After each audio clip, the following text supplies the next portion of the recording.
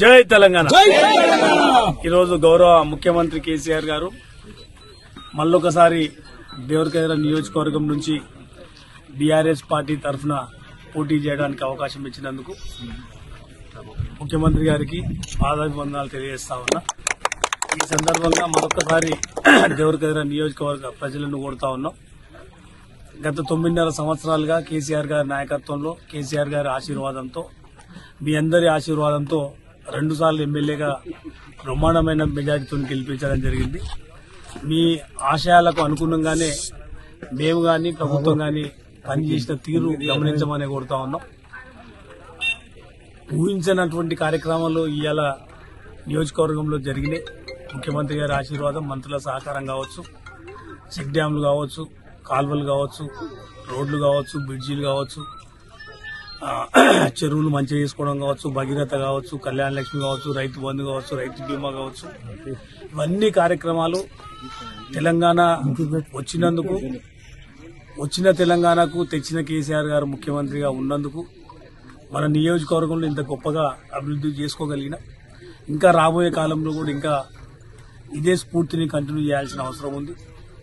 రీసెంట్గానే ముఖ్యమంత్రి గారి ఆశీర్వాదం హరీష్ రావు గారి సహకారం కేటీఆర్ గారి సహకారంతో నియోజకవర్గానికి వంద పడకల ఆసుపత్రి కానీ సీసీకుంట మండలానికి జూనియర్ కాలేజీ కానీ కొత్తకోట మండలానికి సంబంధించి ముప్పై పడకల ఆసుపత్రి కానీ చాలా గొప్పగా చాలా కార్యక్రమాలు చేసుకోవడం జరిగింది. కళలో ఊహించినటువంటి నలభై సంవత్సరాల కోరికైనటువంటి సీసుకుంట కురుమూర్తి బ్రిడ్జ్ కానీ దేవరకర ఆర్ఓపి కానీ దాదాపు యాభై గ్రామాలకు బీటీ రోడ్లు కానీ పదిహేను గ్రామాలకు బ్రిడ్జిలు కానీ అరవై ఐదు వేల మందికి రైతు బంధు కానీ పన్నెండు వేల ఐదు వందల మందికి కళ్యాణ లక్ష్మి కానీ నలభై నాలుగు వేల మందికి పెన్షన్లు కానీ ఎనిమిది వేల మందికి సీఎం రిలీఫ్ ఫండ్ కానీ ఇవన్నీ కూడా ఒక పై ఒకవైపు అభివృద్ధి ఒకవైపు సంక్షేమం సంక్షేమం పోటీపడి ఈ నియోజకవర్గంలో జరుగుతున్న తీరులో ముప్పై ముప్పై చెక్ డ్యాంలు దాదాపు రెండు వందల కోట్లకు పైగా నిధులతోటి చెక్ డ్యాంలు నిర్మించుకొని దాదాపు అరవై గ్రామాలకు దాదాపు ముప్పై వేల ఎకరాలకు కొత్తగా ఆయకట్టును మనం స్థిరీకరించుకోవడం చాలా గొప్ప విషయం. అందుకే ఎలక్షన్లు వచ్చిన సందర్భంగా నిన్న ముఖ్యమంత్రి గారు చెప్పినట్లు ఎవరు కన్ఫ్యూజ్ కావాల్సిన పనిలే. ఒక్కసారి జ్ఞాపకం చేసుకోమని కోరుతా ఉన్నాం. రెండు వేల పద్నాలుగు కంటే ముందు తెలంగాణ పరిస్థితి పాలమూరు జిల్లా పరిస్థితి దేవరగడ పరిస్థితి దేవరగడ నియోజకవర్గంలోని గ్రామాల పరిస్థితి గ్రామాల్లో ఉన్న ప్రజల ఆర్థిక పరిస్థితి.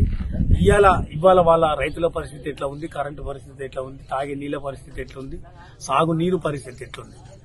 ప్రతిపక్షాలకు సంబంధించి మళ్ళీ ఎలక్షన్ల దగ్గరకు వచ్చే కొద్దికి కన్ఫ్యూజ్ చేసే ప్రయత్నం చేస్తూ ఉంటారు. చాలా నిబ్బరంతో ఉండాలి విజ్ఞతతోటి ఆలోచన చేయాలి. మీరు విజ్ఞతతోటి ఆలోచన చేశారు కాబట్టి రెండు వేల పద్నాలుగులో పదిహేడు వేల మెజార్టీతో గెలిపిస్తే మళ్ళీ ఐదేళ్ళ తర్వాత రెండు వేల పద్దెనిమిదిలో ముప్పై ఏడు వేల మెజార్టీతో గెలిపించి ఆశీర్వదించారు. మీ ఆశీర్వాదం ప్రకారమే ముఖ్యమంత్రి గారి ఆశీర్వాదంతో ఈ నియోజకవర్గాన్ని బ్రహ్మాండంగా డెవలప్ చేసే ప్రయత్నం చేసినాం. మీరు అన్ని చూస్తూ ఉన్నారు. రాబోయే కాలంలో ఈ ఉమ్మడి జిల్లాలోనే దేవరగారు అనేది నెంబర్ వన్ కావాల్సిన అవసరం ఉంది ఇంకా.